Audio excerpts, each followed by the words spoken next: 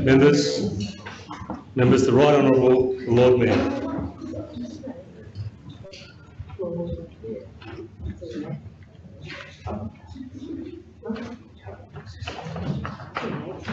City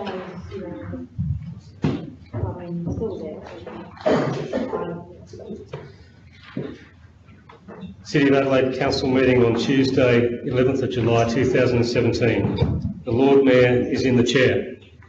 This council meeting will be streamed live and recorded for publishing to the internet.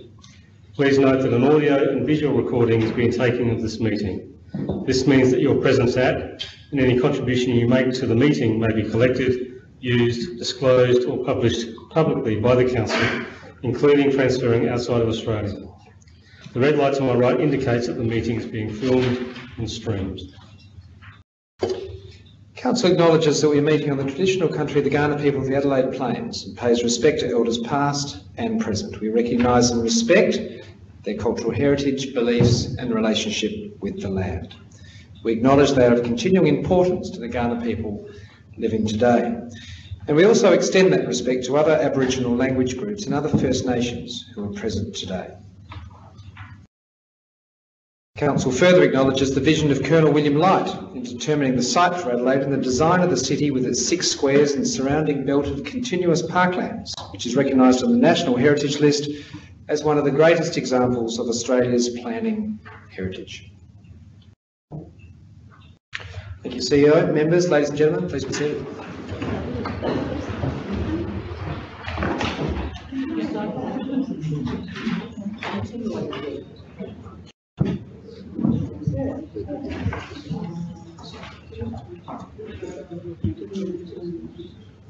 Members, ladies and gentlemen of the gallery, welcome to the council meeting of Tuesday the 11th of July 2017. The time is 6.05pm.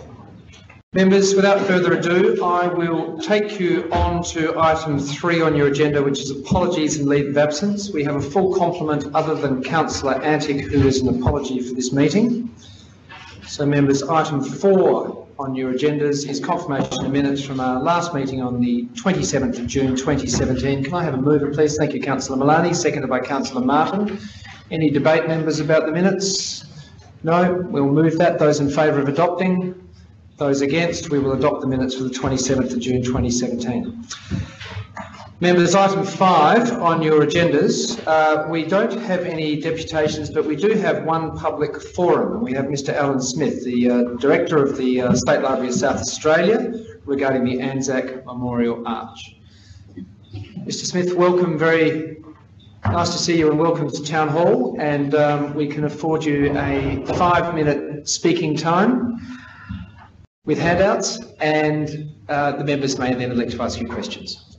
Welcome to the chamber. Thank you very much indeed, Lord Mayor. Good evening, everyone. I wish to bring for the consideration of Council an idea which I hope may make your concept of a gateway in Adelaide a reality. It's a wonderful piece of serendipity that I had some of my people doing research for me for an exhibition I'm planning at the State Library uh, for 2019 called Coming Home, which is looking at the repatriation of troops after the armistice and returning to Adelaide, which we would be running from April through to July in 2019. As part of that research, I came across um, a long lost and almost largely forgotten structure that was a great adornment to the city of Adelaide that was raised by public subscription in January and February of 1919.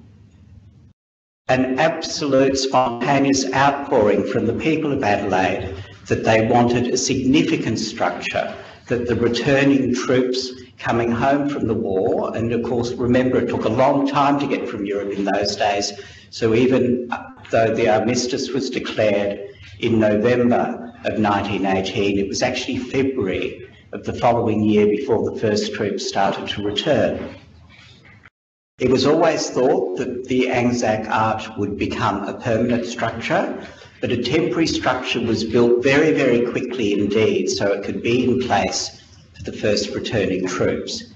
It was placed adjacent to the railway station, where of course all the troops came from, after having uh, disembarked from their ships at Port Adelaide, and it was placed strategically between the railway station and the Cheer Up Hut, which was on the site of the now Festival Centre, which through the whole course of the Great War, run by volunteers and provided food, comforts and entertainment for returning troops. Therefore, the archway could not possibly be rebuilt in its original site because that is now the site of the Festival Theatre. But what I'm proposing for your consideration is that that Anzac Arch be recreated as a permanent structure, which was always intended. It was built of timber and steel and plaster, and it lasted until 1925, when the railway commissioners insisted to Adelaide City Council that it be demolished because bits of plaster were falling onto pedestrians and motor vehicles.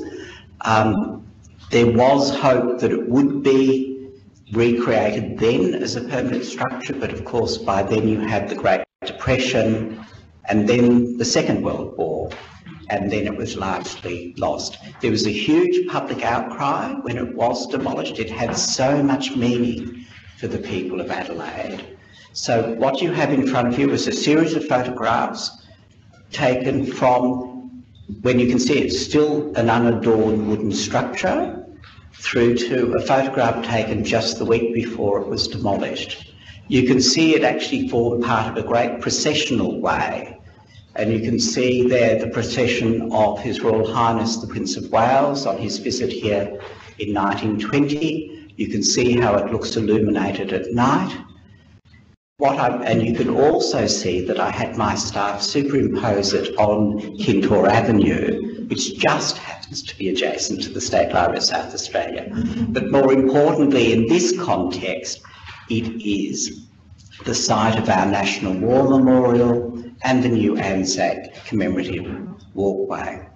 And what I'm proposing for your consideration is that this recreated arch go just north of the War Memorial so it doesn't impede in any way the view of the memorial but straddles Kintore Avenue before the road takes a sharp uh, drop downhill towards the river that would finish that beautiful Anzac Memorial walkway, be a suitable commemoration for the centenary of the ending of the Great War and the bringing of peace, recreate a lost part of South Australia more particularly Adelaide's civic history, and bring a thing of beauty back to the streets of Adelaide. Thank you.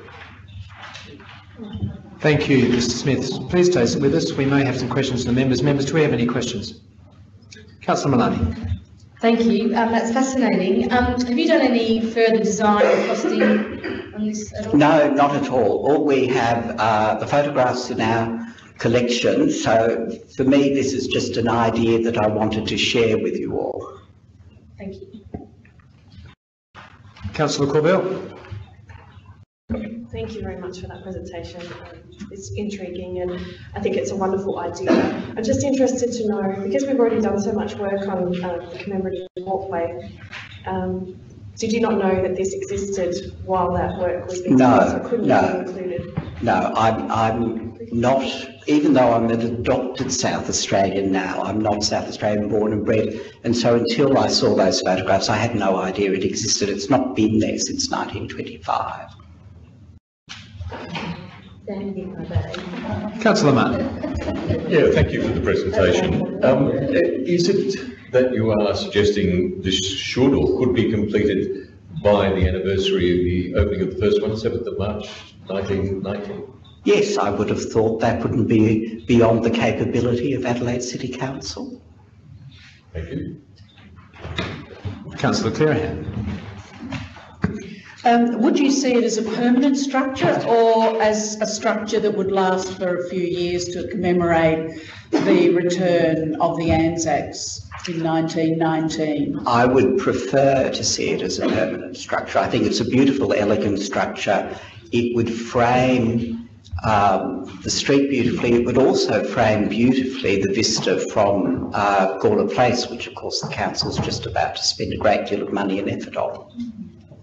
And just a final question. One of the photos says men of the 3rd Light Horse Battalion. Mm. Does that include the 9th Light Horse? Were they incorporated under the, do you know if they were incorporated into No, the 3rd and, and Light people, Horse? people came back over a year. It took, the demob took a very, very long time. So you had different groups returning at different stages as they were demobbed. Yes, I think my grandfather was one of those. Oh, those. yes. Yeah. Thank you, members. Mr Smith, thank you very much for your public forum. Thank you Greatly very appreciated. much. Thank you very much for giving me the time to address you. Thank you.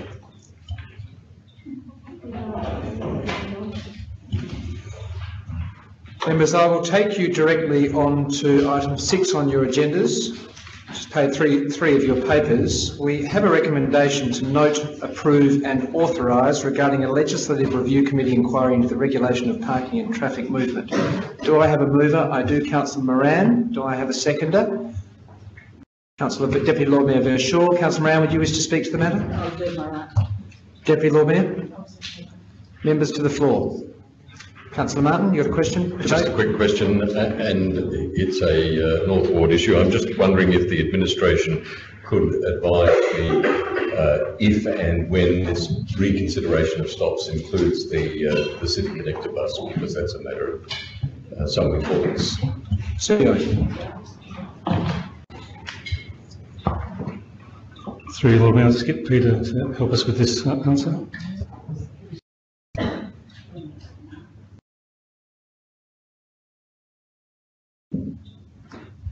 Uh, Through the chair, this uh, legislative review committee won't be looking into the city connector or um, any impact to the city connector. However, if we do go down the lines of reviewing the bus stops, then there may be some impact, but that would need to be taken uh, to council at a later date.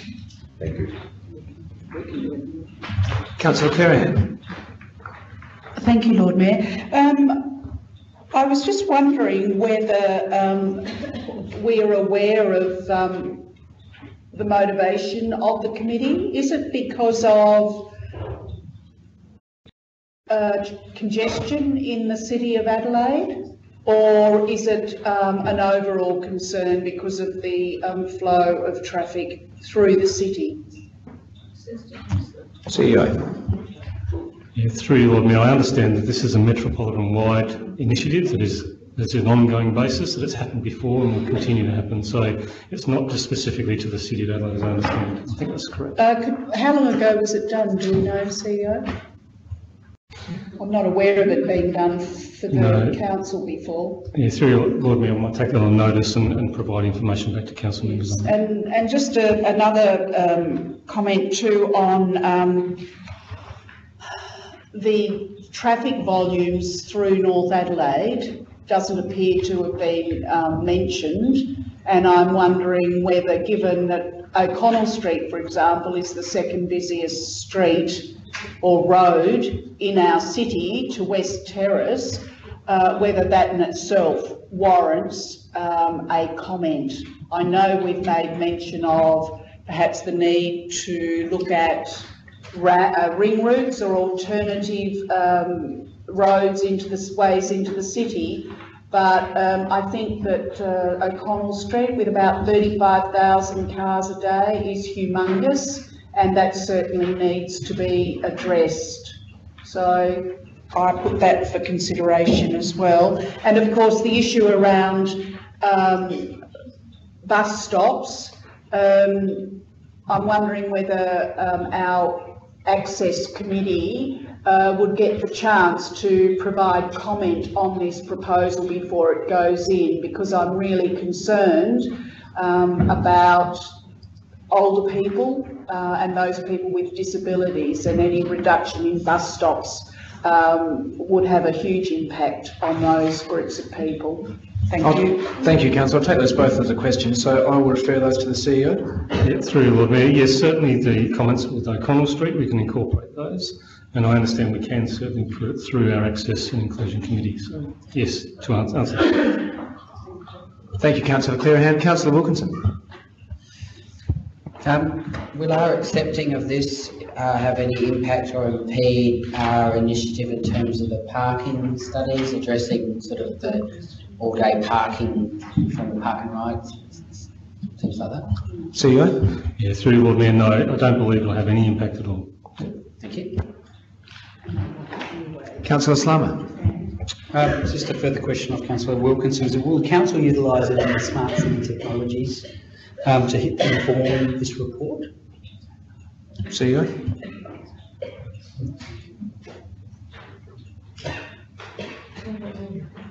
Through you, Lord Mayor, I think it'll be relevant for us to make reference to that for sure, um, so we can incorporate that into the, into the response. And, and on top of that as well, the the government, the ad inside that, the state government has, is there any relevance of that information that we can use in this report as well? So there collaboration on that, on that side of existing information? Through you, Lord Mayor, yeah, there may well be potential to do so. We'll take that on notice though, and if there's, if it's possible, we'll incorporate that. So I'm assuming then that the recommendations will come back uh, for voting and for um, um, approval to this chamber? Yeah, through you, Lord Mayor, outcomes as a result of this process will be reported back to council. Thank you, councillor Slama. Councillor Clearihan, you have another question? Just one more question. In relation to the volumes of traffic north, south, east and west, given that the city is very much a north-south linear city, does our um, administration have any idea of the different volumes heading north-south versus east-west? And did we recently ask for better coordination of east-west traffic? And the reason I ask those questions is people are commenting on changes to the traffic flow over the last few weeks. And despite the fact that there are school holidays, there just seems to be a huge hold-up in north-south traffic flows. CEO, I'll assist you before I hand to you. Um, councillor, the, I can't answer for the aggregate of the city in terms of bus transport in uh, both directions across the entirety of the city of Adelaide, but of course Grenfell Street is the most heavily uh, frequented street in the city of Adelaide when it comes to buses, and it will soon rise to about 26 to 2,800 buses a day. So that would certainly add to the east-west volume. CEO. That's Through you, Lord I'll ask Peter to contribute, thanks. Uh, Yes, through the Lord Mayor, we are um, currently reviewing uh, traffic signal operation throughout the city. That includes all northwest, uh, north-south and east-west traffic flows. This is in partnership with DIPTI and the Operating Moving Traffic Program. Um, So we are also basing that on the AddInsight uh, technology, which is Bluetooth-based. So determining origin destinations to determine uh, if we can improve, improve traffic flow on the various streets. It is a bit of a trial and error at the moment, um, so if there are issues, we can address them uh, as they arise. One more question, Just a councillor quick clarification. Do we know any fraction or proportion of north-south versus east-west, east-west traffic volumes? Uh, we do have uh, information on the number of vehicles travelling on most of our major or all of our major roads and through all of our intersections, and we can pull out origin destination information using the Bluetooth data. So we've never worked it out to date. Uh, we have done uh, investigations on certain roads, but we haven't done it across the CBD as a whole. Thank you. This might be a good opportunity to do so, councillor. Uh, councillor Marnie, you were smiling at me earlier?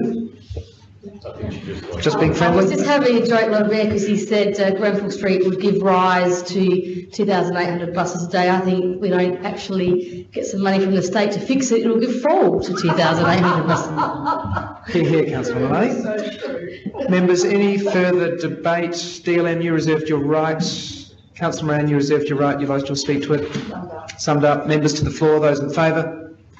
Those against? We carry. Thank you, CEO.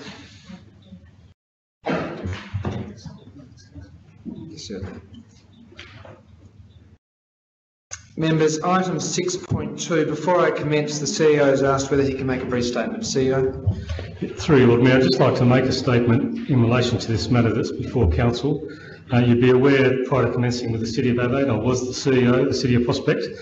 Uh, I just want to state that I don't believe I've got a conflict in this matter, as I haven't had anything to do with uh, working up the development proposal. So, and it happened after I resigned from my role at the CEO, CEO of the City of Prospect. Um, I just wanted to make it clear um, that that is on the table, um, but I don't believe I had any involvement in the development and so therefore don't have a conflict. Thank you.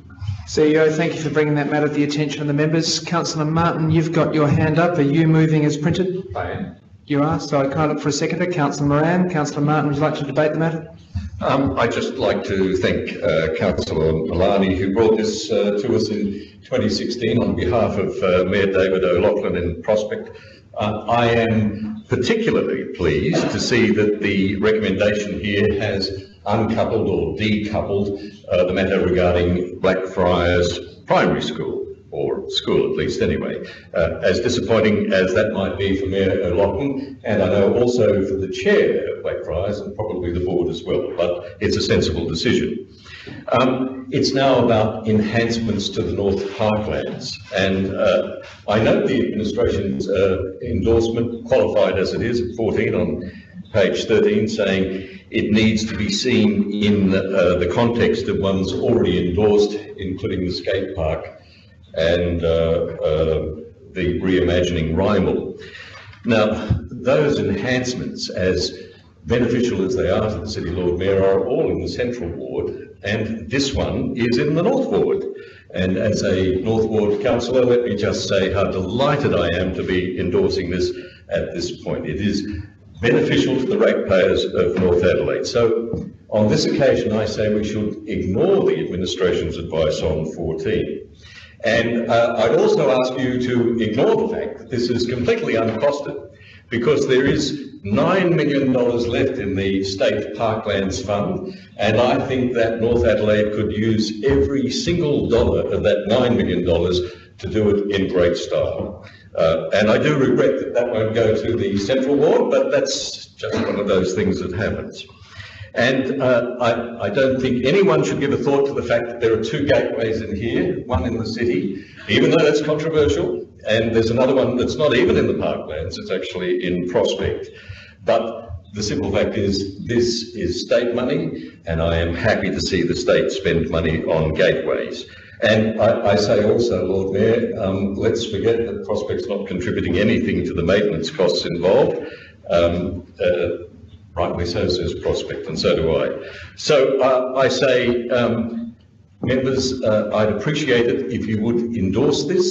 It will hopefully go to the top of the list and be a project that's initiated uh, before the state election. At least we would hope that the state government agrees to hand over the dough for it. Um, look, there's much more I could say about this, uh, Lord Mayor, but um, the words that I have in mind aren't suitable for a public place, but I would just ask members to support this entirely. Thank you. Be disappointed if you didn't advocate vigorously on behalf of your ward councillor. Well done. It was seconded by Councillor Moran.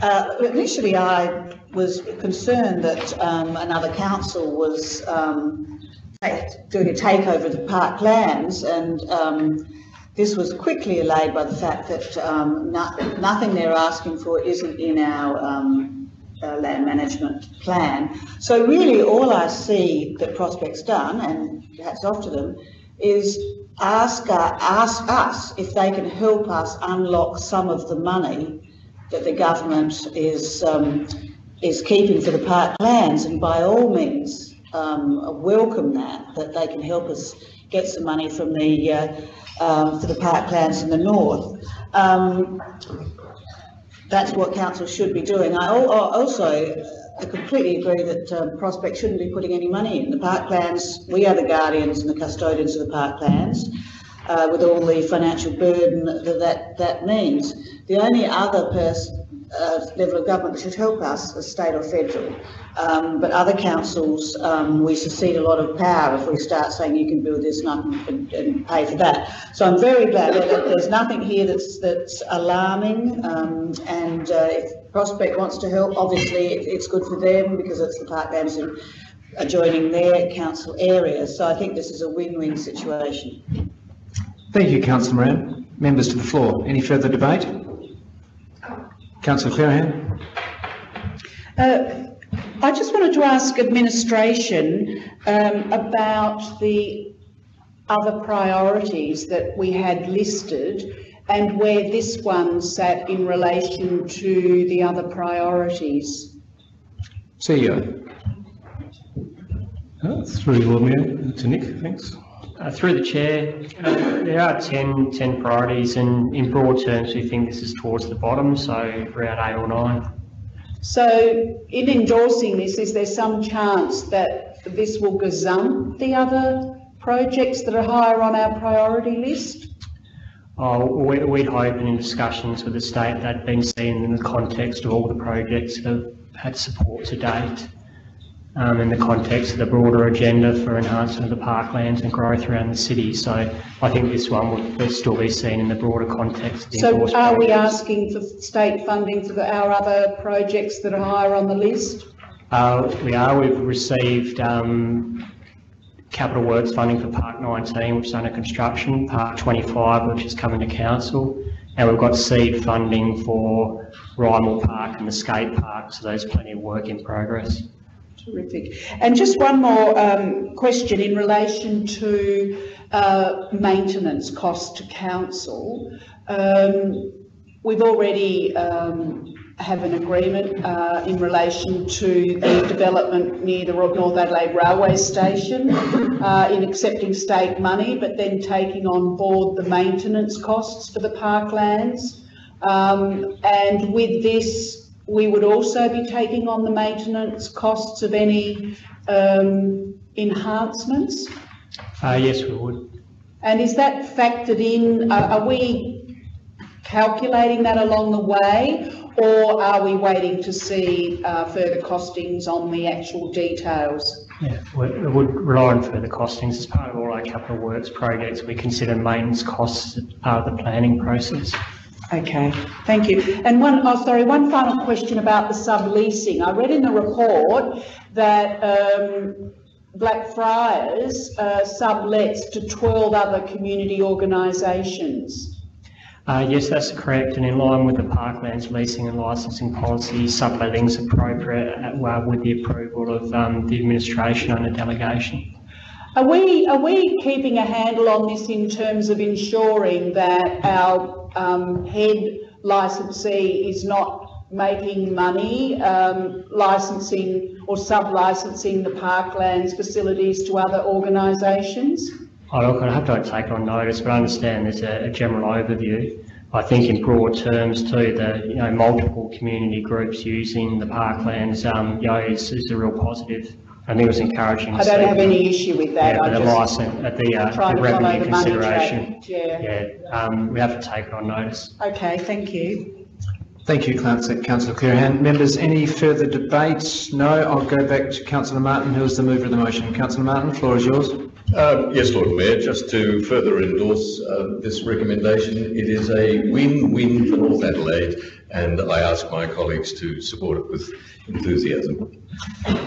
Members, I put item 6.2 for your consideration. Those in favour? Those against? We carry item 6.2. Councillor Martin, I've never seen you so enthusiastic. I'd also like to welcome Jo Chapley, the candidate for the uh, state seat of Adelaide, to the chamber. Welcome. Members, I now take you on to item 6.3, which we have a report to note. So members, do I have a mover to note, to move that uh, report? Councillor Clearihan, seconded by Councillor, Councillor Hender, I think, hand up quicker. So Councillor Clearihan, do you wish to speak to the matter? Look, I think this is um, a terrific outcome. Um, This project to date has been too big to handle, too big to fund and we've finally got some momentum now. We've got it, we've got it broken down over a couple of financial years.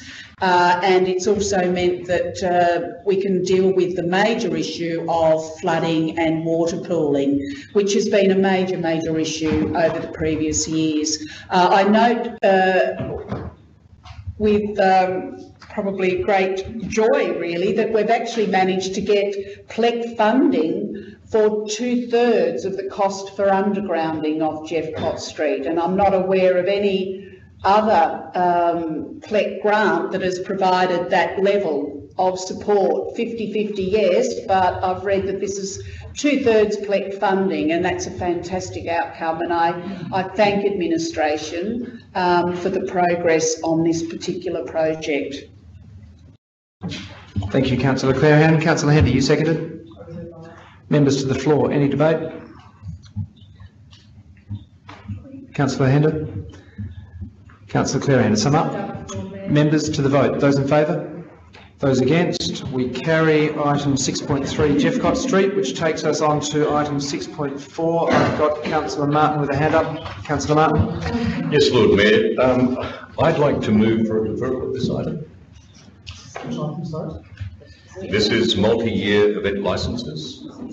You need a seconder for that to proceed. Is there a seconder? I'll hear the um, discussion. You've got a seconder for the... Lord Lord Mayor, first question, if, if we do have conflicts of interest, it means we can't, what, what do we do on, on any of this topic? Thank In you. Uh, totality. Councillor Martin, let me answer that question, please, of Councillor Malani first. Councillor Malani, we have a move to defer uh, at this point in time. I'll take that debate first, pending the outcome of whether it's deferred or not, because it would negate what you're about to discuss. Should we be proceeding, I will do a call over of the items and ask should any members have a uh, declaration of conflict.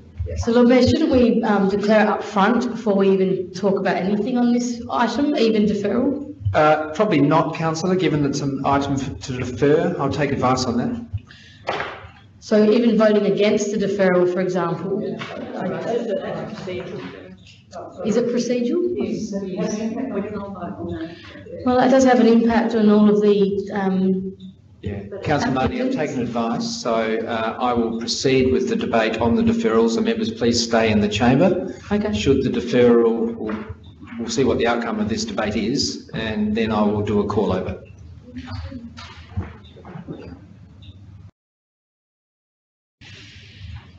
Councillor Martin, can I ask you, and members, in your debate on the proposal to defer, uh, just be mindful of not going into excessive detail about specific items, because that's where you could trigger a conflict of interest with your fellow members.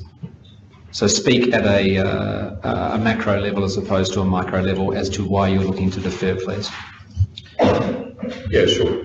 Thanks, Lord Mayor. Um, can I just say at the outset that I am supportive of the concept of uh, multi-year event licenses, and I don't seek um, to move away from that. I am just asking for a deferral to allow consideration of several aspects of it, and I would have it rocketing back into council as quickly as possible.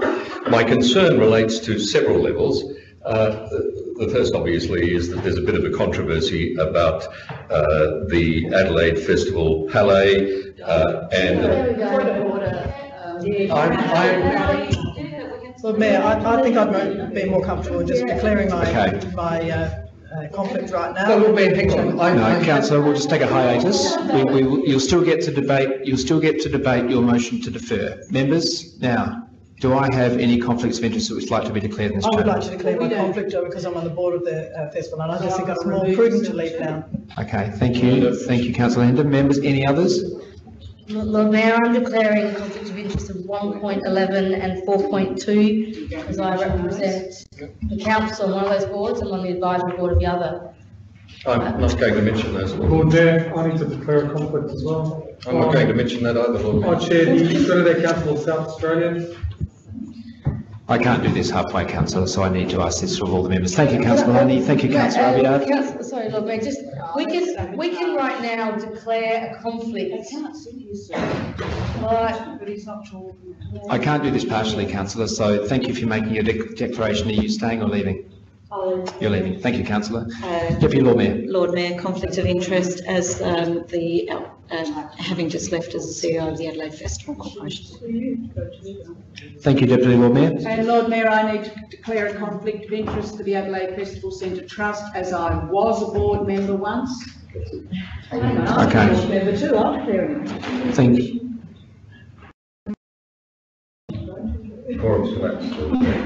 Which is what we want, wasn't it? Members, the choice to declare a conflict of interest lies with the member. It's an individual choice. The members have chosen. There was no other way procedurally I could do that. I couldn't do it partially. I could either do it, I could either do it wholly. That was the only way I could do it. So we no longer have a quorum, so leave, uh, allow me to take procedural advice.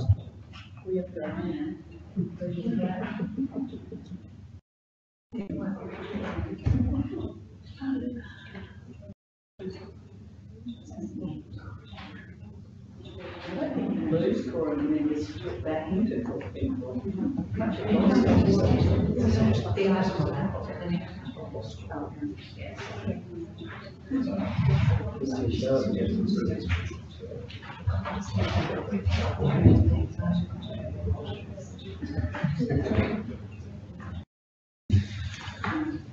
Okay, so members, we don't have a quorum, which means we can't unfortunately deal with the proposal to defer. So I now need to invite the members back in and we need to look at a different course of action, which will be either to debate the substantive motion or amend it.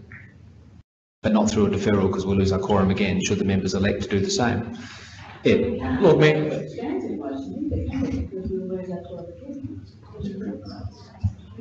I could take it in parts, Councillor Moran, that's the only way I can do it. Yep. Lord Mayor, look, uh, um, I wasn't aware that the very mention of something, and those were the only words I was going to use in respect of that, that is, if it's continuing, it, it doesn't amount to a debate. It is simply an observation. Uh, and I cannot see how exercising the right to declare a conflict is necessary. I understand your frustration, councillor, but there is, um, that the members have their right. The, the, the responsibility sits with the individual member to make their declaration. So if they feel that they are going to be exposed in any capacity and they, they do declare and they leave the chamber, this is exactly what happened. But uh, may I just make the point uh, that what I seek to do is a reasonable, honourable thing, and I am being prevented from moving something reasonable on the basis of a perception that there might be a problem. Uh, and frankly, I wasn't going to mention any event that most of the councillors in this room uh, were associated with. And if I was, it was just the title.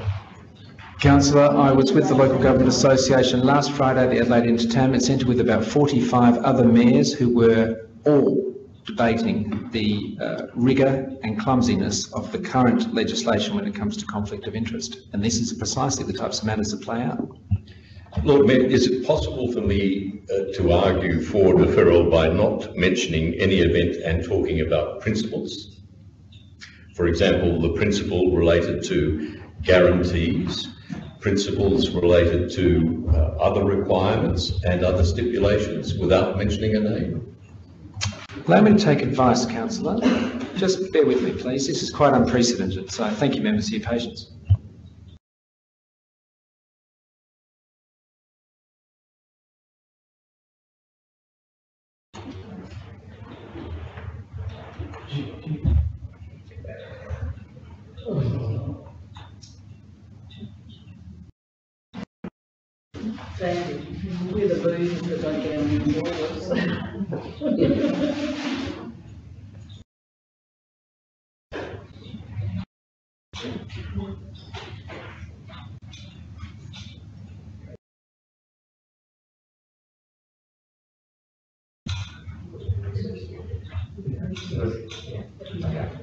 Councillor, if I has a solution.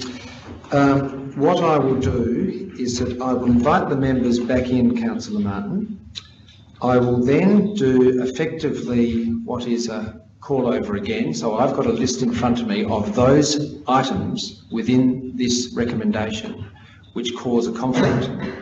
I will then have a debate with all members in the room with regards to what I would describe as an en bloc process for those balance of items that do not have a conflict. You, at that point in time, can then move your motion to defer, which would apply to the bulk of the items which quote unquote are going through in an en bloc discussion at least. You will either win that debate or you will not win that debate on the merits of your discussions. And then we would then, of course, I would address the balance of the items individually and I would do an individual vote for those items that had a conflict, which means I'd only be losing one member in each of those debates. That would enable you to achieve, in all equity, what you're looking to achieve, should the members vote for it. It's the only way I can do it. Okay, look, um, uh, as you choreograph this dance, uh, can I ask you to lead uh, me and everybody else in it, please? Certainly. Okay, so Ed, if I can please have the members back in the chamber.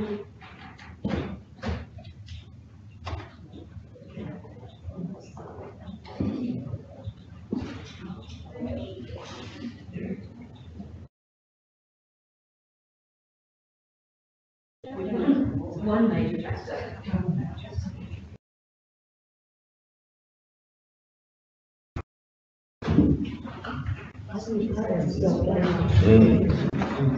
Okay, members, I'm going to share with you what I'm going to do. I'm going to re, I'm going to hit the reset button on this discussion. So what I'm first going to do is that I'm going to ask you to, those that had and have a conflict, perceived, actual or material, to declare what is your conflict and simply what item number it applies to, because you have a series of recommendations sitting under 6.4. Then what I will do is that I will set those aside and we will have a debate en bloc, so to speak, for those items which do not have a conflict. So we're setting aside those items which you do. Councillor Martin, I will enable Councillor Martin to have his discussion, which will actually then apply to those items, quote unquote, which we're debating en bloc, which do not have a uh, conflict, perceived actual material.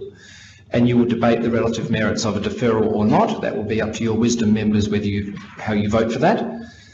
And pending the outcome of that, I will then work through the balance of the items. And when we have a conflict, to which I will need basically a series of votes to put the rest of them through. And when we get to yours, you will leave the chamber. Procedurally, members, that's the only way I can do this. So, can I please go around the room? Councillor Malani, you have a conflict on item which number? 1.11 and 4.2. 1.11 and 4.2. Councillor Malani, thank you. So you'll stay in the chamber for now, thank you. Councillor Abiad, do you have a conflict? I do, Lord Mayor, in relation to a perceived conflict in relation to item 1.3, Australia Day Council of South Australia. 1.3, councillor. Thank you. You'll stay in the chamber for now. Thank you. Councillor Hender. Uh, my conflict is in relation to items one, item one point one. I think that's all. Uh, Through the Lord Mayor, uh, plus 1.15 and 2. Sorry, DLM, are you speaking on behalf of councillor Hender or? Um, Just trying to assist councillor Hender. Oh, Hender. yeah, thank you, one point one five, thank you. Okay, And so 2, coun- and 2. So councillor Hender, just so I've got my notes correct here, you are declaring a conflict for 1.1, My apologies. 1.15, and what the third one was? 2. Thank you, councillor Hender. Now, Deputy Lord Mayor? Thank you, Lord Mayor. Um, Conflict, uh, perceived conflict with 1.1, 1.15 and 2. And two. Okay, so, members, for the purpose, councillor Clearihan, my apologies. Lord Mayor, um, as a former member of the board of the Adelaide Festival Centre, um, I would have a conflict with item 4.1 and 1.2, Thank you for bringing that to the attention of your fellow which members. is the Adelaide Festival Centre's OzAsia Festival, uh, and of course the use of the Elder Park for a, a moon lantern festival. Okay, thank you, councillor Clearihan. Councillor Moran? Um, I also am a former member of the Festival Centre Trust, but I do not believe I have a conflict. Thank you, councillor Moran, for stating. Now, so members, I'm just got, I have Judy to my right.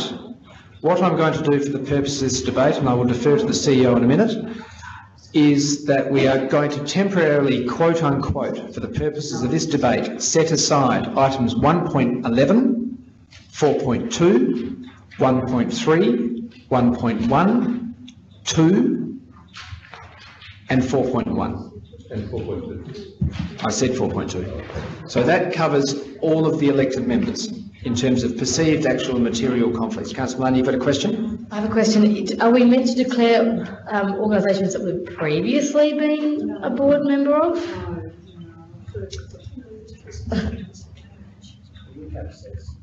Okay, and Judy, can you please say that for members? Thank you. If I can clarify, councillor Malani, the purpose of councillor Clearihan's um, notification of her conflict, this issue went through the board at the time that councillor Clearihan, I believe, was on the board. So this is an issue that she has dealt with before. So, members, we have a written record of those items which we are temporarily setting aside for the purposes of this debate, which leaves us with the balance of the items in the recommendation. So now, councillor Milan, councillor Martin. Thank you, Lord Mayor. Um, I'm seeking to move a deferral uh, of this item, um, and I will not be referring to any uh, matter that would cause discomfort uh, to any member in terms of conflict or perceived conflict. I want to talk about principles that are contained in the recommendations of this report and in the discussion paper. Okay, I'll re- reconfirm your seconder. Do I have a seconder for the purpose of the debate? Councillor Clearihan, floor is yours, councillor Martin. Thank you, Lord Mayor. And look, I'll, I'll uh, be very careful and slow and deliberate with this, if that's okay. Just a question for you just a point of order, Lord Mayor. From what you said before, is you're setting aside something that a potential conflict. So is councillor Martin moving a deferral in relation to the items that are, have not been set aside? That is correct. So, okay, so that's what I'm, so we're not discussing any of the items set aside. Your deferral will not defer any items that we have uh, moved in conflict at the moment. So you're, okay. Not, not at this point in time, councillor, that's No, but I'm arguing about principles.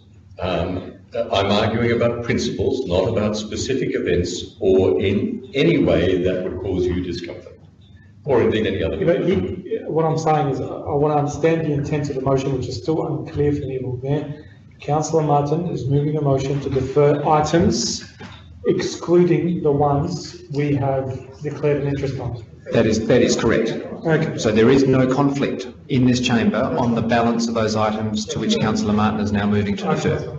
Councillor Martin, the floor is yours. Thank you, Lord Mayor. Look, there are uh, briefly five principles that are, I think, set out in the, uh, the document before you, about which I have some concerns, and for which I would like some clarification from the administration. I emphasise again, this is something I support, but I am asking that the matter be deferred to committee to enable a more deliberate discussion of some of the principles that are raised. Uh, one of them is that there is, I believe, a principle established in the document that allows council to make a decision about the, uh, uh, the future of any event, if the principle is upheld, on the basis of the uh, construction of the shareholding of the company. That is to say, the directors. Now, it is clear from the document that if council has a view about the suitability or otherwise of a shareholding, represented perhaps by a director, then it is delegated to the administration to be able to refuse uh, whatever permission is sought. The next principle relates to fee modelling. Uh, so-called fee modelling in the document, but which is principally about the guarantees that would be sought from event holders in the City of Adelaide where it is deemed necessary. Now, there's talk of bank guarantees, there's talk of bonds, cash or insurance, but in what circumstances would they apply? There is no detail because the policy is not complete. And my concern is that we don't know whether we're talking about a cash guarantee that would be 40% of the rental or 40% of the income, or whether it's $1.50. It's not clear. And that is something for which I think we need some guidance before we continue further. And the third matter which concerns me is that Uh, the document at page 32 contemplates handing to the CEO approval for any minor changes in events, uh, in event dates, concepts, footprint and trading hours. Um, it also contemplates in the next paragraph 59 uh, substantial changes to these conditions will be brought to council. Now, I'm asking for qualification because there is no definition of what represents a minor change or a substantial change. Uh, if it was for trading hours, for example, uh, would a change between 1 p.m. Uh, to a 12:30 p.m. start constitute a minor change? Uh, would a change from midnight to 1 p.m. constitute a minor change, or would it be a substantial change? That needs clarity. Uh, additionally, um, there is a, a matter that uh, no, I did not mention that. Um, additionally, I think uh, the document would benefit from a more consistent approach. I'm sorry, Lord Mayor, may I just have a moment longer? Members, two further, two further minutes, your fellow elected member. Got general comfort? I'm seeing. Thank you, Lord. Mayor. I will, you've got majority. Thank you. Um, th- there is no uniformity in the attachment uh, concerning the conditions that would, would apply to events in terms of such basic things as noise mitigation. And I think we have uh, a right to ask for some comfort in terms of a policy direction covering uh, all of those issues. Now, it has been put to me that perhaps we might, in respect of uh, events about which we might have some concern, and I'm talking generically here, Lord Mayor, uh, we might at some stage uh, alter the Adelaide Parklands event management history, which is coming to us as a report in the next few weeks, as a means of imposing conditions on particular events generically. Now, I, I would prefer to see that document first before I was making policy decisions in regard to um, the multi-year event licenses. Um, in summary, Lord Mayor, I, I, I simply ask for clarification about these issues, the opportunity to receive from uh, the administration uh, guidance and uh, the opportunity to ask a series of questions that would inform then the document that comes to council. Uh, in an ideal world, it would be great if this could come to committee next week and then rocketing back into council uh, for the next meeting. Uh, in that circumstance, I'd be hopeful from my reading of the documents that there won't be too much inconvenience caused, apart from to the administration, and I apologise for that, um, but there won't be too much inconvenience caused to the event schedule. So I would just ask members to support uh, a more fulsome discussion about the principles that are enshrined in the document. Councillor Martin, thank you very much. Councillor Clearihan, you seconded the motion to defer. Would you wish to speak to it? Lord Mayor, um, when I read through this report, I, I had two major concerns, or they're not major, but two concerns.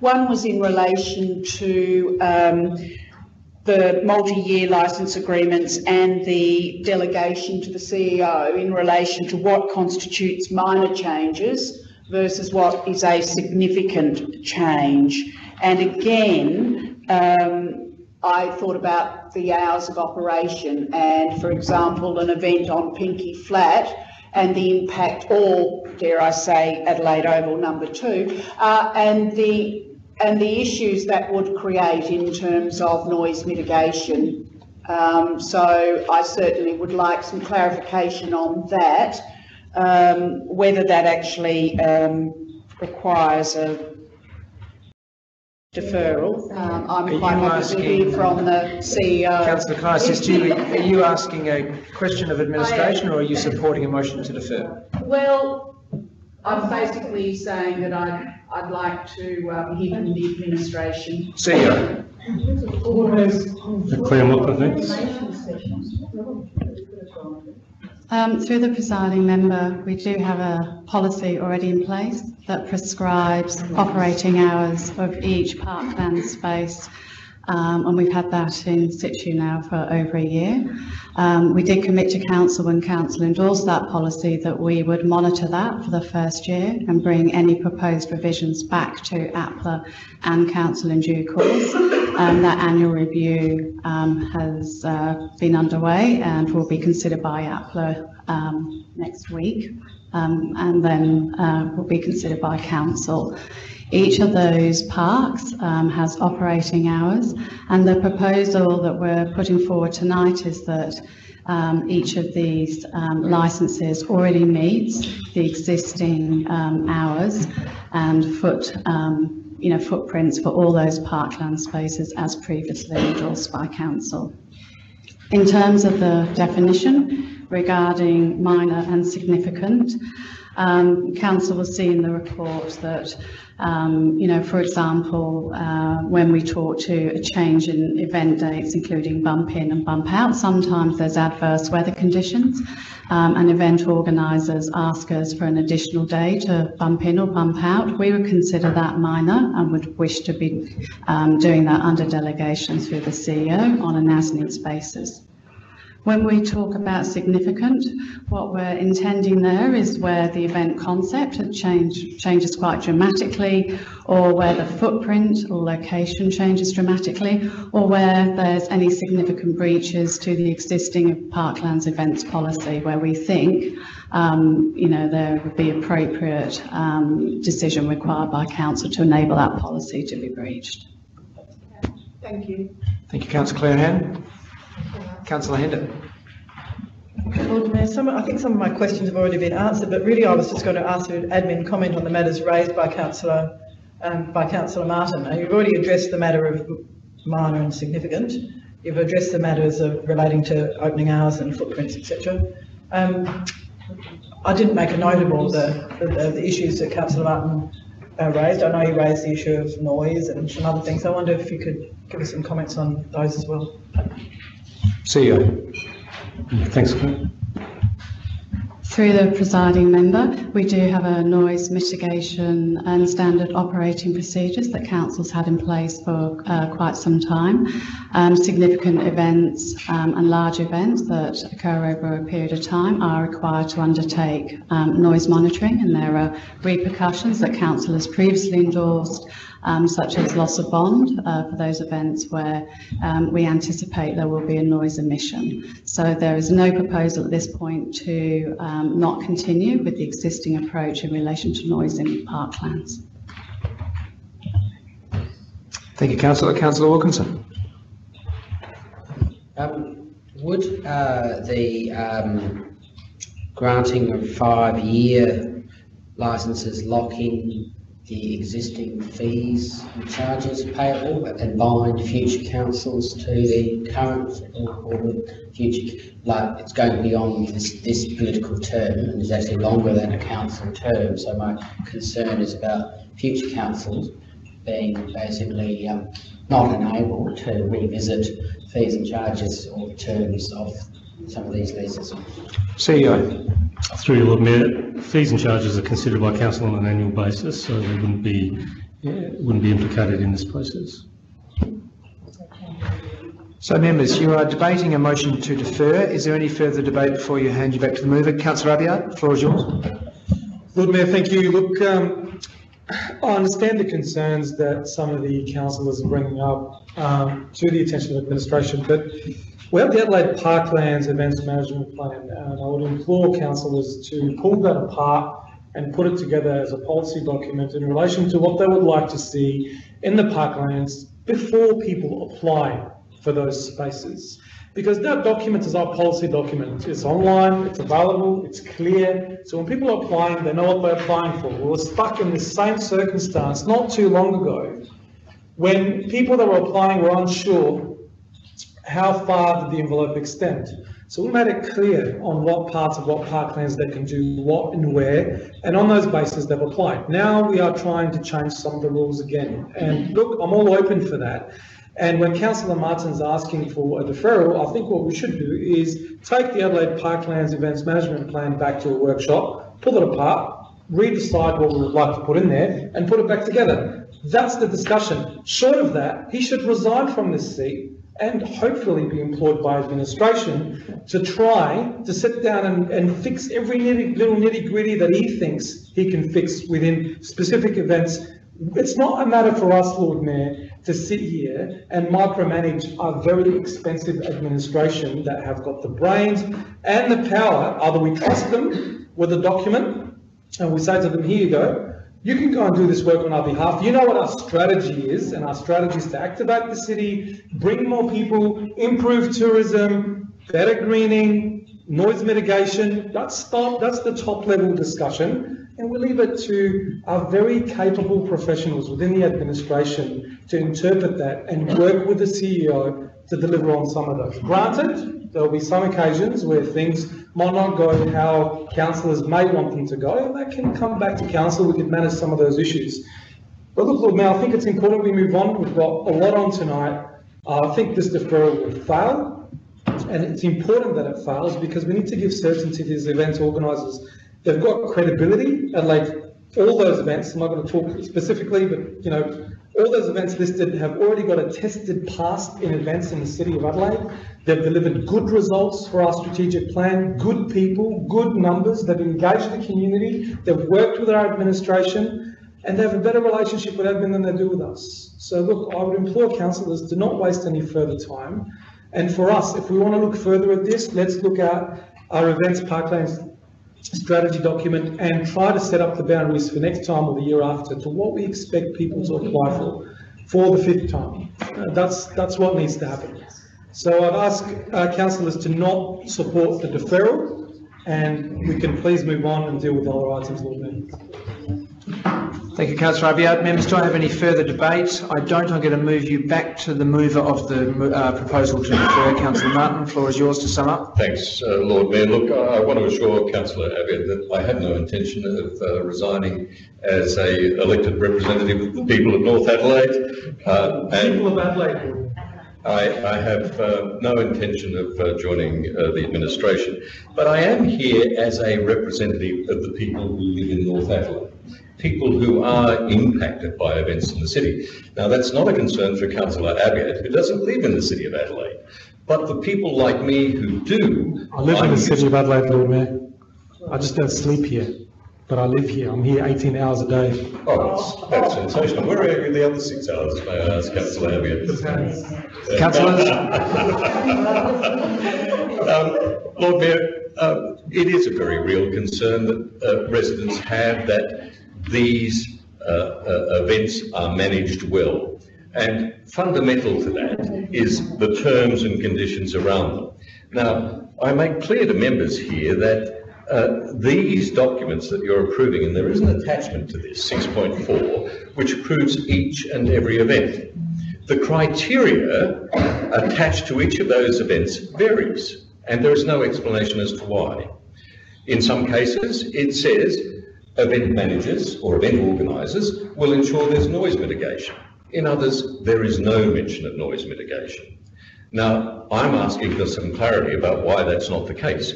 I thought Councillor Abiad uh, might be disturbed by the suggestion that uh, uh, we would, in some cases, be delegating to the CEO the authority to approve or decline an event, and on the basis of the shareholding of the company.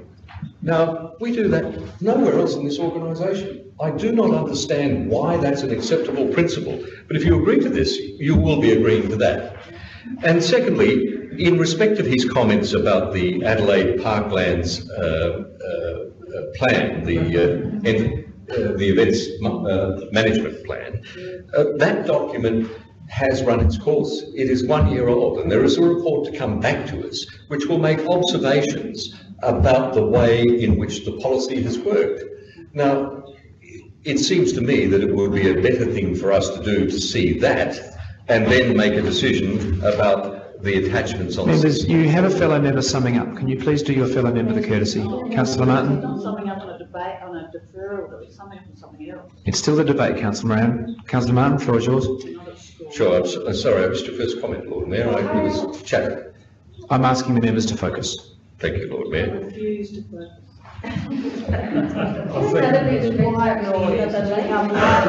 Members, please, councillor Martin, floor is yours. Uh, Lord Mayor, I just want to assure councillor Moran that I will extend to her the same courtesy or discourtesy as appropriate.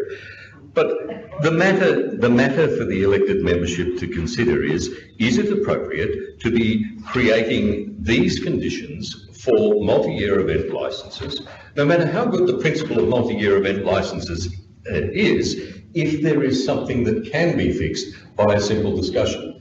Now, I understand uh, councillor Abiad's uh, irritation by detail, but it is important, and particularly to the ratepayers that I represent.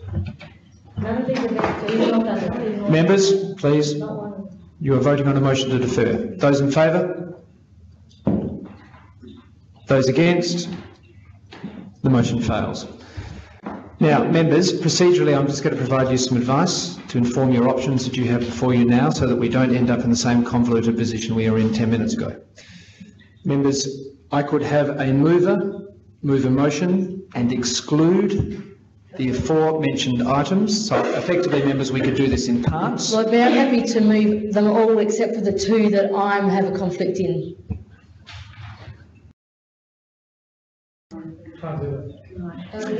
No, members, I'll, I'll just reiterate. Um, Members, I can do this in parts and I can walk you through this fa- fairly All the ones that, except for have com, The non-conflicted items, I could have someone move that, should you wish, and you can debate that on its merits, and then I will cycle through each of those impacted items and the individual member will leave the room during that debate.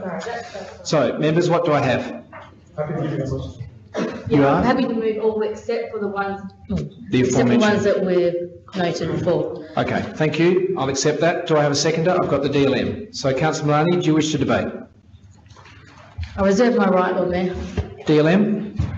Um, Thank you, Lord Mayor. I do believe that um, most of the questions that councillor Martin has raised uh, have either been answered or can be answered in the chamber as we debate this paper. I'd also like to um, thank administration for uh, the work that went into the five-year multi, uh, five-year multi-year event licences uh, for these organisations, having uh, been part and worked alongside many of them. This is a real game changer uh, for the events in the city. Uh, they will have certainty whether they're coming in.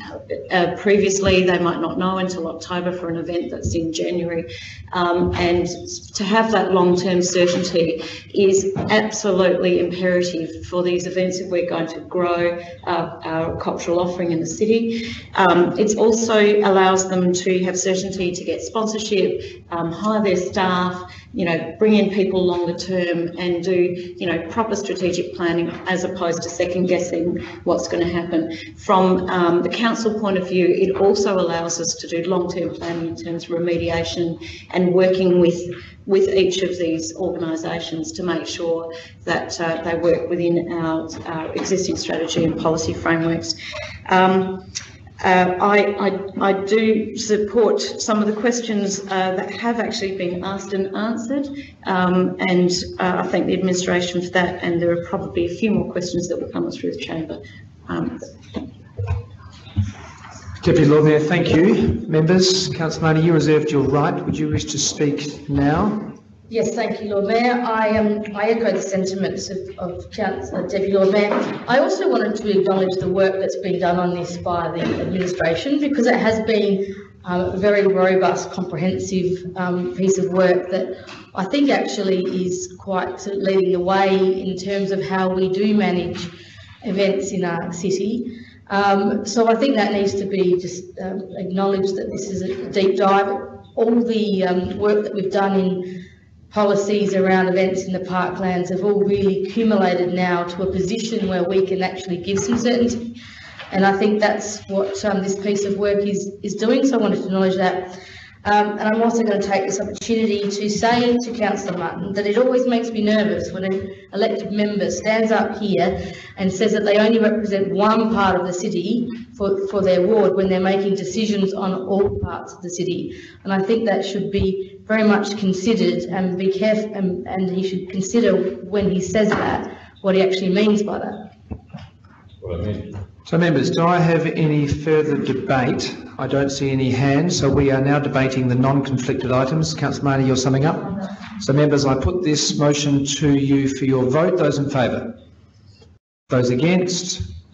We carry. Thank you, members. So members, what I'm now going to do is that uh, Judy has very kindly grouped these matters for me. I'm now going to deal with the conflicted items and you will be debating the conflict item with the bulk of the substantive motion attached to it, like what you just voted on for the non-conflicted items. So, um, Councillor Hender and DLM, uh, you pulled out items, you noted items 1.1 and 1.15 and item 2. Could you just please declare your conflict again? I'm on the board of the festival, Lord Mayor, and therefore those matters. Thank you, Councillor Hender. DLM? Um, I was the CEO at the time that these applications came into council. Okay. So members, thank you very much. Members, I will shortly look for a mover for items 1.1, 1.15 and item 2. Councillor Clearihan, moved by Councillor Malani. Councillor Clearihan, do you wish to debate? Um, Just very quickly, Lord Mayor, I didn't speak before, but I don't think there's any question of us supporting or not supporting these events in the city. They are absolutely crucial um, to the vitality of the city and to fulfil our strategic plan, both at the local government level, Adelaide City Council level and state level. Uh, they are what gives Rep- Adelaide the reputation as it being a, a vibrant, innovative, creative city. Um, and but I think there are some concerns expressed when the reports for each of the events mention different things. Some of them mention needing to comply with noise mit- mitigation policies and others don't. Uh, and when we know that there's been some complaints made about um, some of the events, well, it raises alarm bells purely and simply thus. But in general, the, the support is unequivocal and they have my total support. Thank you, Councillor Clearihan. The CEO wishes to make a couple, couple of comments. Well, Through, Lord just to- some clarity, I guess, with with that concern. Through the Lord Mayor, um, the Adelaide Parklands Event Management Plan, um, as Claire mentioned previously, stipulates the requirements for each parkland site, um, and the event management approaches contained within the report are specifically aligned with the requirements with the the Adelaide Parklands Event Management Plan. In relation to the noise, each event is assessed against our noise um, mitigation standard operating procedures, which are very prescriptive around events that require noise management and ones that don't. Can I just Further question? Yes, you can. I just think when you compare the Glendi Festival in Victoria Park with uh, the Garden of Unearthly Delights and Gluttony in Rymill Park, and there are statements about noise mitigation policy, but you don't include the feast event on Pinky Flat, which is also adjacent to residential areas, well then that creates a level of uncertainty. I'm sure there is a consistency, we just didn't mention it for all of them. Thank you very much, Councillor Clearihan. I think we'll take that as a comment. Thank you very much. Um, now, I've got Councillor Malani. Do you wish to speak to this? Councillor Martin? Yes, Lo- Lord Mayor, uh, can I just reiterate that I endorse entirely the concept of multi-year event licences and I support each of the events. I was, as Councillor Clearihan says, seeking some certainty into, in regard to the conditions that apply to some of those events. And I hear the administration, I do understand. However, the fact that there is no mention of noise mitigation in regard to Pinky Flat is a matter of great uh, concern in North Adelaide. And I know Councillor Malani has dismissed that any of these events are in North Adelaide, but the truth is, events which occur around the riverbank have a serious and substantial impact on the ratepayers of North Adelaide. Therefore, it would be best if we had some clear statement of intent related to, for example, Feast, which, when it was uh, staged in Light Square, according to the public consultation, which is not included in any of these documents, according to the public consultation, was the subject of noise complaints. It is now moving to Pinky Flat, and there is no mention of any measure to address the noise problems associated with that, even an assurance that it won't be a problem. That is all I have sought to do. as well as to establish uh, some clear guidelines related to the, uh, the delegation that's being handed to the administration on our behalf. Uh, however, there is no question I will support each of these events as and when they're proposed. Thank you, councillor. Members, councillor Abiad. Yeah, Just quickly, I've just noticed the screen drop, but there was a highlight. Okay, so I just wanted to, we're dealing with item 1.1, 1.15 and 2. That is correct. So that would include also the um, granting the Adelaide Festival Corporation landlord consent for two years to use the riverbank in the proposed management approach. So that's the floating Palais, is that correct, Lord Mayor? Am I reading this right? No, I don't think you are. That is item two, which is subsets item 2.1, 2.2, 2.3. Can I get administration comment on that, please, CEO? Yeah, because I'm, yeah, if you- if you're referring to 1.1, 1.15 and 2, then that 2 is included as well. Claire Mockler, thanks. Uh, Through the presiding member, um, paragraph two does, um, will be proposing that council grants the Adelaide Festival Corporation consent for a two-year period um, for the floating Palais for the period of the festival. Um, Paragraph 32 in the report explains that um, the request for the pontoon to remain in situ outside of the festival period is subject to a separate consideration by APA and council next week. Okay, that's fine. Thank you. Thank you, councillor. So members, do I have any further debate regarding item 6.4 subsets 1.1, 1.15 and 2? I don't, so I'm going to put you back to your mover, who was councillor Clearihan, who summed up. I put this for the vote. Those in favour, members? Those against? We carry. If we could please invite the councillors back into the chamber.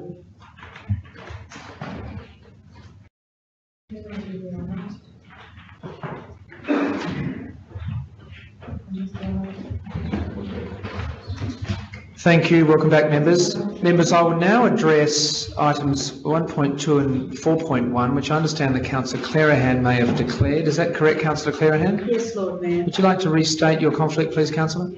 Um, I was a member of the board of the Adelaide Festival Centre Trust, uh, and when these applications were being uh, determined by uh, the festival's administration and ours, I was a member of the board. So Thank you for bringing I that to your attention, your fellow members. Councillor?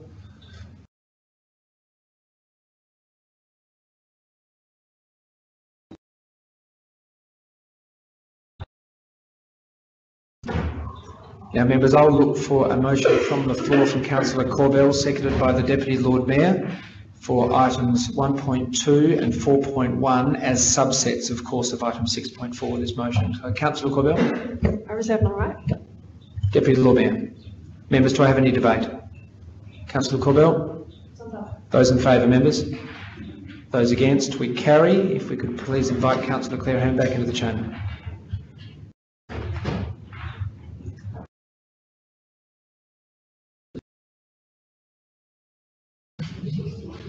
Welcome back, councillor.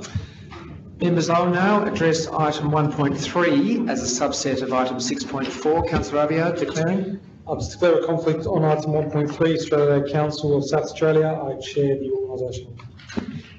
Thank you for making the declaration to your fellow members, councillor. Members, I have a mover in councillor Malani, a seconder in councillor Corbell. Councillor Malani, any debate? Councillor Corbell, any debate? Members, any debate? Councillor Malani, summing up? Summed up, members, those in favour? Those against? We carry, which includes item 1.3. Ed, thank you.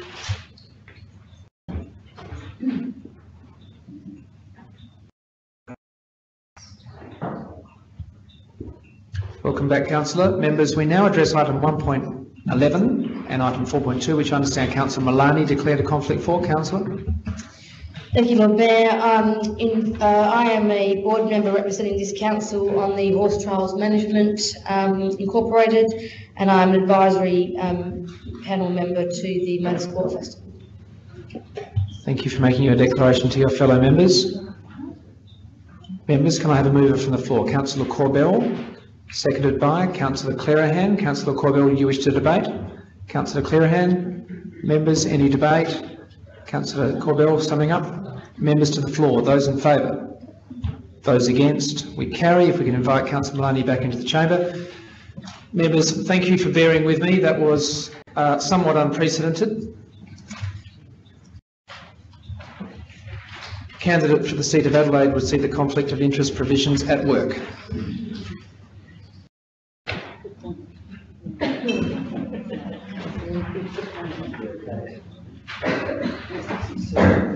Members, I take you now on to item 6.5 in your agendas, which is uh, City of Adelaide Audit Committee proxy membership. I need a motion to amend members, which is using Regulation 21, which is not unprecedented, uh, to effectively um, rearrange how proxies are treated. So I do have a member, I've got a mo- mover with Councillor Martin, seconded by the Deputy Lord Mayor.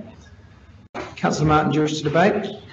No, Lord Mayor, just to observe that this is a fairly straightforward, simple measure and it will make the operation of the audit committee much smoother and more effective. DLM.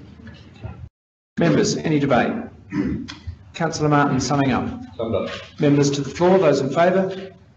Those against? We carry item 6.5, which takes us directly on to item 6.6, Audit Committee Extension of Term of Appointment of Independent Members to approve. Can I have a move, please, members? Councillor Clearihan, seconded by Councillor Moran. Councillor Clearihan, do you wish to speak to the matter? Summed up, Lord Mayor. Councillor Moran?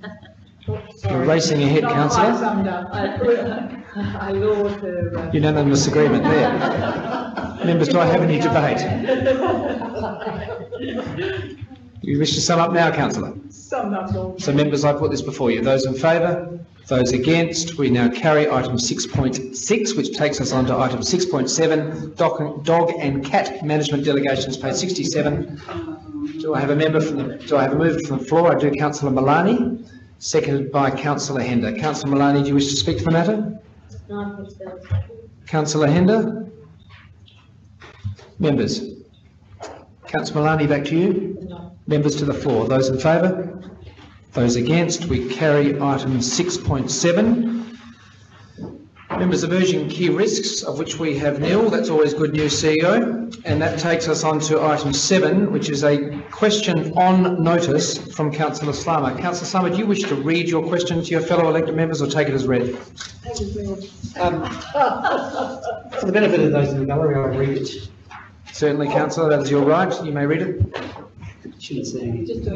Um, That council asked that council administration distribute to members a copy of the letter, letter recently received by the Lord Mayor um, from Minister Stephen Mullighan MP regarding the parking of motor scooters and motorcycles on designated footpaths throughout the City of Adelaide. Given that the Minister has now confirmed in writing that no legislative, no legislative changes are required, to validate the permanency of these arrangements, can administration please confirm with the members that the current sites have moved beyond the trial phase and that the parking of motor scooters and cycles in the current designated areas is now permanent? Two, given the popularity of these initiatives and the benefits, it- the benefit it delivers in reducing motor vehicle congestion, can administration further advise the members as to what action is being taken to expand the number of designated sites throughout the City of Adelaide? In doing so, can administration also please advise the members as to how many additional sites are being considered and the timeframe for their implementation? Thank you, councillor Slama. I have a relatively brief answer, councillor Slama. Would you like to take it as read or would you like the Lord Mayor to read it? Would you please read it, Lord Mayor? Certainly. I have received a letter advising that there is no legal impediment to expanding the ability for motorcycles to park on footpaths, but noting that motorcycle parking on footpaths remains a non-standard practice in South Australia, requiring approval from the Department of Planning, Transport and Infrastructure. That said letter I've received from the Minister. Consultation has been recently undertaken on three new locations, in addition to the existing eight locations. This includes two locations on the east side of Light Square and one location on North Terrace, west of Morphett Street. These three locations all received negative feedback from businesses citing noise, pollution and impacts to pedestrian movements and will not be implemented at this stage. However, as a result of the success of the existing eight locations, which are now permanent, Further motorcycle parking on footpaths locations will be explored on an annual basis. $10,000 has been allocated in the 2017-18 Smart Move Interim Action Plan to implement further motorcycle and scooter parking locations on footpaths, noting footpath width, constraints and competing demands for space. Thank you for your question on notice. Councillor. Members, do I have any questions without notice? I don't. I do. Yes, you you do. Lord Mayor. I just wish to flag that I have two questions to ask without notice. However, they are matters which I believe should be dealt with in confidence, and I would therefore flag that I would ask, I will be asking those questions in the latter part of the meeting. Councillor, in order to do so, I will need a indication of at least the topic matter and the reason for confidentiality for each. For each. Can you please share with your fellow members? Um, Well, Lord Mayor, I'm prepared to say that it, it is a matter uh, that is commercial in confidence, and it has the uh, potential to impact on possible negotiations. Thank you. I'll accept that, councillor. Do you have another question without notice you wish? No, just the one. All right, I'll deal with that, councillor, in confidential matters. Members, uh, we now have a motion on notice, item 9.1 from councillor Martin, uh, regarding the annual report inclusion, page 78 of your papers. Councillor, the floor is yours, and I'll look for a seconder. Um, Thank you, Lord Mayor. Um, I need a seconder before I speak. Councillor Wilkinson's your seconder. Councillor Martin, the floor is yours. Um, uh, Members, this uh, uh, motion on notice is aimed at providing uh, openness and transparency for our ratepayers. Uh, um, A principle I know that both the Lord Mayor and the CEO have said many times uh, that uh, they are committed to. It would allow all of our ratepayers uh, to see important information about, uh, for the first time, how many staff we employ and in the categories employed uh, by council. Now, what I'm asking for is not unusual. Uh, It is common in other cities to do likewise. And Lord Mayor, uh, I have to share with you that I have been uh, inspecting the website of the City of Melbourne, uh, which has not only the details, but it has bar charts, pie charts, graphs. It's sensational. It breaks down classes of employment uh, between permanent full-time, uh, permanent part-time. It talks also about the number of casual employees, and then it goes to break down the categories, uh, further categories of employment. Uh, and incredibly, it also, and we've never done this, breaks down the staff numbers into gender. So you can actually see how many men, how many women are employed by the Melbourne City Council. Now, that is the kind of transparency that I'd like to see us engage in. Uh, and to provide that information in our annual report would seem to me to be the best vehicle. And separately, I think there's an enormous advantage to be had for council in being able to say to our ratepayers, look, this number of people are engaged every day in keeping our streets clean. This number of people are working permanently in the parklands on the maintenance of the parklands. Or so many people are involved in emergency roadworks, uh, keeping our streets usable at all times of the day and night. It, it is a positive initiative uh, and one which I think would be welcomed by our ratepayers. I invite uh, councillors to inspect the City of Melbourne site. It is well worth a look and if we can replicate uh, part of that uh, in time for the 2016-17 financial report or even the following year, that would be sensational. Councillor Martin, Councillor Wilkinson, you seconded. Do you wish to speak to the matter? Uh, no, but I support the openness and transparency uh, agenda. Thank you, councillor. Councillor Hender. Lord Mayor, I rise to speak in support of uh, councillor Martin's very sensible suggestion and to indicate, as I did earlier, that I need to leave the chamber at 7.30 as I have another appointment. Nothing personal, councillor Martin, good idea. No, no, no, You had my vote if I was still in the room. Thank you, councillor. Members, any further debate? Members, before I hand you back to the mover, I too support this motion. Councillor Martin. Summed up, Lord Mayor. Members, those in favour? Those against? We carry. Thank you, councillor Martin. Members, I now take you to the exclusions to the public. So we now have item 12.1.1. My mistake. Well done, Judy. Mem- Members, do I have any motions without notice? Item 10 on your papers. I don't. Anyway, Judy, I was quite visionary. Members, I will move to exclude to the public, which means, members, I uh, have two items, which will be item 12.1.1 and a late inclusion of item 12.1.2, which will then become a question without notice, which Councillor Martin will ask in private. So, ladies and gentlemen, uh, if you are, can I have a mover to move into public? Into confidence? Yeah. Move into public. Councillor Malani, seconded by Councillor Abiad, I think had your hand up, sir? I did. You did? Those in favour? Those against? We move those two items into confidence. Ladies and gentlemen of the gallery, if you are not central to this item.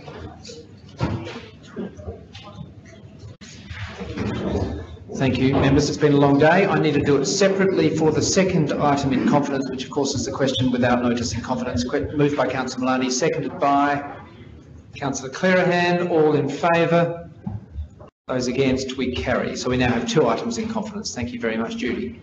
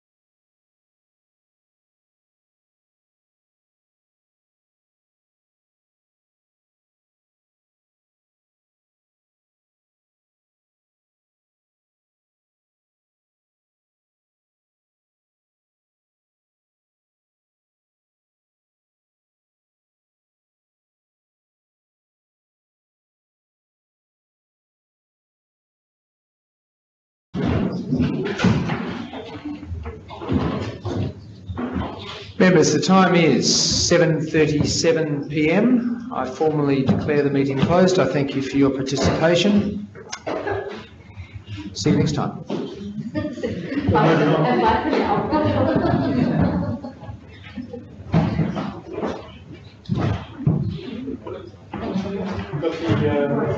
uh,